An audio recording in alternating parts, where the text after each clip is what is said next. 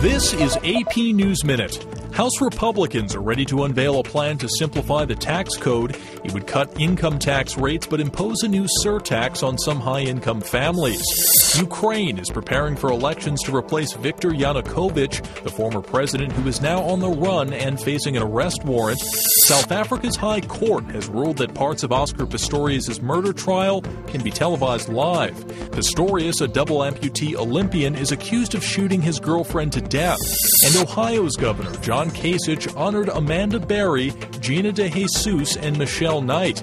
He presented Courage Awards to the three women who were kidnapped and held hostage for a decade.